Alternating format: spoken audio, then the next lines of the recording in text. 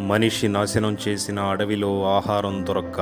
అన్నమో రామచంద్ర అంటూ మానవ మృగాలు సంచరించే ఈ జనారణ్యంలోకి వచ్చి తన ఆకలిని తీర్చుకోవడానికి ప్రయత్నిస్తున్నటువంటి ఈ గజరాజును చూస్తుంటే గుండె తరుక్కుపోతోంది. మనిషి కేవలం తన స్వార్థం కోసం తను మాత్రమే ఎదగాలని ప్రకృతిని పూర్తిగా నాశనం చేస్తున్నాడు. ప్రకృతి కన్నెర్ర చేస్తే ఈ మూగజీవాలకు పట్టిన దుస్థితి మానవులకి పడుతుందన్న విషయాన్ని మాత్రం మరిచిపోతున్నాడు ఈ మానవుడు.